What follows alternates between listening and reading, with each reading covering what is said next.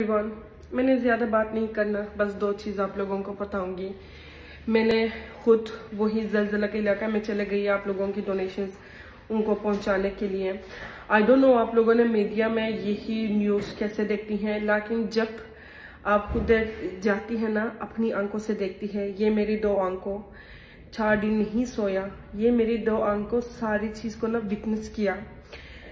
ज़िंदगी बहुत छोटी सी है। घर खरीदना, गरी खरीदना, पैसे के पीछे भागना, बहुत बड़ा करोड़पति बनना, ये चीज़ें ना बिल्कुल फ़र्क नहीं पड़ता।